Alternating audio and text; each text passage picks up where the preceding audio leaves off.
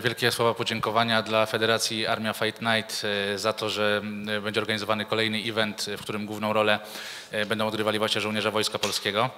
W tym roku e, podczas organizacji tego wydarzenia postanowiliśmy e, na ścisłą współpracę, tak jak mówił tutaj e, pan Filip, najbliższa gala zostanie zorganizowana w hangarze lotniczym w bazie w Mińsku Mazowieckim. Warto zauważyć, że nie jest to pierwszy kontakt Ministerstwa Obrony Narodowej z MMA. Od 2018 roku realizujemy projekt Wojownik, czyli ćwiczenia dla weteranów, ich rodzin, ale także żołnierzy zawodowych z udziałem e, największych gwiazd MMA, między innymi gościliśmy Jusiana Błachowicza czy e, Łukasza Jurkowskiego. A jaki cel nam przyświeca w tej współpracy? Od 2018 roku realizujemy kampanię rekrutacyjną Zostań żołnierzem Rzeczypospolitej. Ma to związek z realizacją jednego z priorytetów ministra Mariusza Błaszczaka, czyli zwiększania liczebności Wojska Polskiego. Pokazujemy, że wojsko jest miejscem, w którym można rozwijać swoje umiejętności, jednocześnie e, służyć ojczyźnie. E, Wśród osób, które angażujemy do tej kampanii są również wojskowi sportowcy, którzy pokazują, że właśnie w siłach zbrojnych e, znaleźli miejsce, e, w którym, e, które, które sprawia, że, że mogą rozwijać e, swoje, swoje umiejętności, stawać się coraz lepszymi zawodnikami.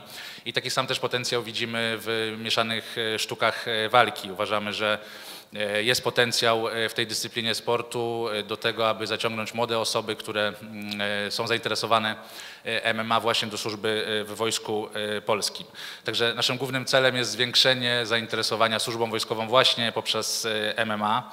E, Dlatego też minister Mariusz Błaszczak zdecydował się e, objąć e, to przedsięwzięcie swoim honorowym patronatem e, i również e, wojskowa walka e, wieczoru toczona pomiędzy dwoma żołnierzami e, będzie się toczyła o specjalną nagrodę ministra obrony narodowej.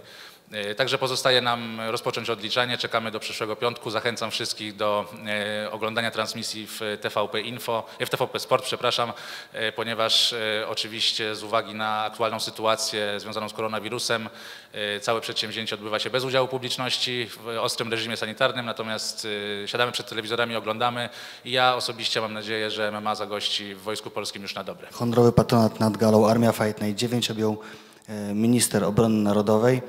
Muszę powiedzieć, że jestem bardzo szczęśliwy, że takie rzeczy dzieją się dzisiaj w wojsku. E, Ostatnio jak wychodziliśmy tutaj ze spotkania z panem dyrektorem, aż chwilę stanąłem przed budynkiem, złapałem kilka oddechów i sam się w duchu uśmiechnąłem, bo jeszcze niedawno e, te inicjatywy sportowe nie były tak mocno wspierane. Także zmieniamy oblicze polskiej armii, zachęcamy do młodych ludzi do e, wstąpienia do armii. Sam jako młody chłopak też wstępowałem do armii, między innymi dlatego, ponieważ widziałem tam potencjał rozwoju i intelektualnego, i sportowego.